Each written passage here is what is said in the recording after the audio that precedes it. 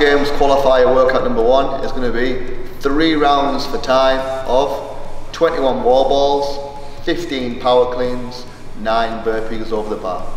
The wall ball weight is six or nine kilos, power clean weight is 35 or 50 kilos.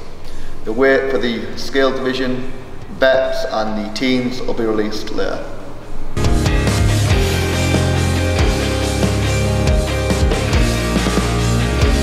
So with the wall ball, what we're looking for is for the athlete to pass through a full squat in the bottom position, hip crease below the top of the knee, and then when he stands to full extension, he's going to throw the ball against his target.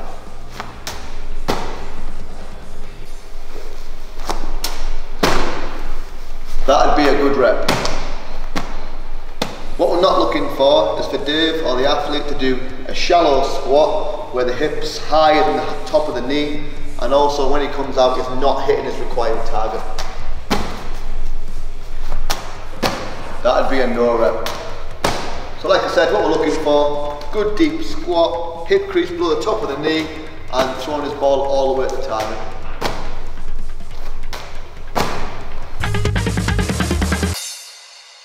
Okay, then with the power clean, the athlete's going to approach the bar, he's going to do one fluid movement and put that bar in the front rack position. Top of the movement, what we're looking for is full ankle, knee and hip extension with his elbows forward of the frontal plane of the barbell.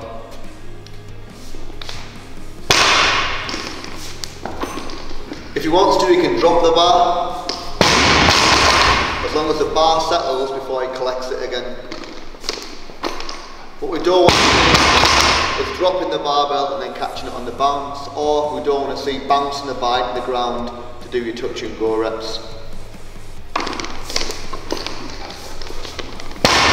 So we don't want to see this, bend at the ankle, bounce the bar, we want to get straight arms to the bottom position like this, and then he can touch and go his reps from there. Also a bad rep would be not extended at the hips and knees and that would look like this. That'd be a no rep because the athlete hasn't extended his hips or knees in the top position. We need to get to full extension before the bar goes down.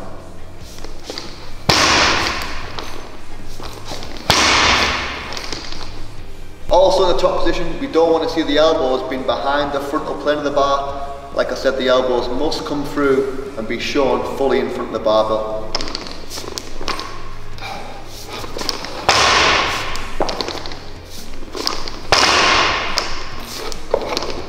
So the elbows must come through the front of the bar. Okay, the third movement, the bar facing burpee. The athlete is going to face on towards the bar. He's going to drop into a burpee, so his chest and thighs are flat to the ground. From there, he has to jump his feet up to his hands, and he'll jump with two feet over the bar. That'd be one rep. As opposed to last year when we were allowing step ups, we're not allowing that this year. We've got to go all the way down, chest and thighs to the deck, feet have to jump up and not step up. So the step up would be a no rep. So these are good reps because it's jumping up.